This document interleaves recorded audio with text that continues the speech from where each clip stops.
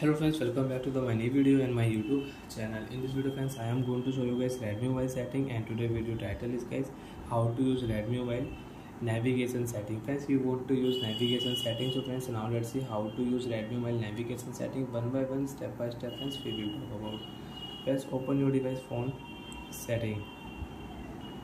After turn on phone setting friends scroll down here and friends you can see this type interface in your redmi mobile friends in your redmi mobile open your phone home screen setting after turn on your phone home screen setting so friends you can use system navigation setting here. Friends tap here system navigation setting.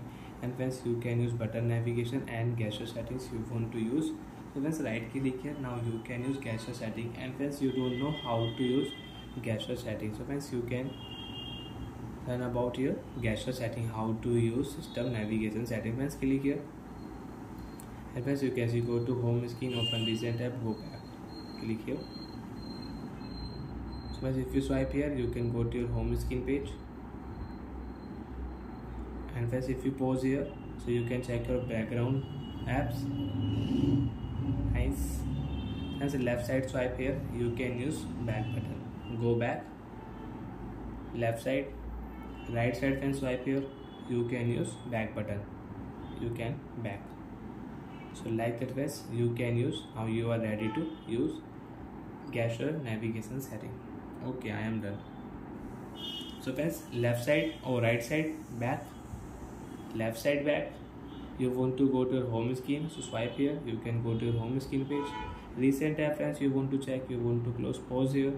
And you can close recent app and you can open your recent app. So like that friends you can use gesture setting you can use navigation setting in redmi mobile